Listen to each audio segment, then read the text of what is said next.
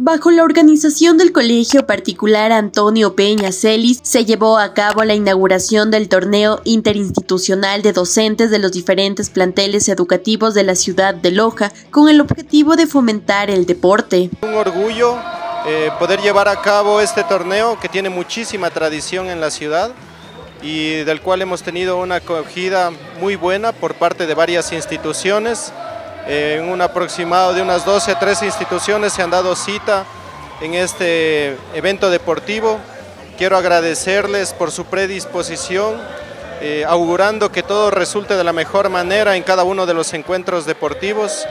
y que triunfen los mejores equipos, pero por sobre todo la hermandad de las instituciones educativas. Además, se entregó reconocimientos a varias docentes por su desempeño y trayectoria en el ámbito del deporte, mismo que fortalecerá el ámbito de llevar e inculcar una vida saludable en sus alumnos. Ha sido un año muy lindo, de muchas actividades donde hemos podido compartir con nuestros jóvenes eh, en un ambiente de sano esparcimiento